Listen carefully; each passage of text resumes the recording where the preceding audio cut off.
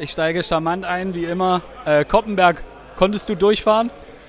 Also ich glaube, ich hätte durchfahren können, wenn ich vor mir alle abgestiegen war. Hat das Crossfahren doch ein bisschen geholfen diesen Winter. Aber ich bin dann letztendlich auch gelaufen. Es war ein episches Radrennen, aber mehr oder weniger auf Ansage, äh, weil viele Mannschaften offensiv agieren wollten. Ähm, was war euer Plan, gerade mit einem saustarken Michael Matthews heute? Und äh, wie hast du es erlebt? Also für mich war es jetzt die vierte Flandern-Rundfahrt mit Abstand die härteste. Ähm, weiß nicht, ob ich so ein Radrennen überhaupt schon mal erlebt habe. Also es war unglaublich und ähm, Blingen war mit Abstand unsere beste Karte. Äh, ich habe ihn unterstützt, bis ich fast vom Rad gefallen bin und äh, bin sehr, sehr stolz, wie wir das gelöst haben.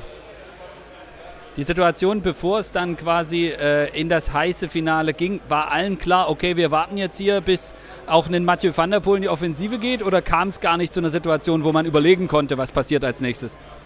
Naja, waren ja fast alle stehen K.O. Also viel zu überlegen war da nicht mehr. Hauptsache noch halbwegs vorne halten und selten so viele Top-Fahrer so müde gesehen. In einer Woche Paris-Roubaix. Wie blickst du jetzt darauf? Ja, ich denke, es ist alles möglich. Wie lange brauchst du, um dich zu erholen von heute? Oh, keine Ahnung, aber jetzt bin ich erstmal richtig, richtig im Sack. Also wird schon ein paar Tage dauern. Stellepreis könnte ich mir eigentlich sparen, weil mit der Form kann ich bei Roubaix mit Sicherheit ganz vorne fahren, aber normalerweise fahre ich dann nochmal mit. Ähm, aber jetzt mache ich erst mal zwei Tage gar nichts. Danke.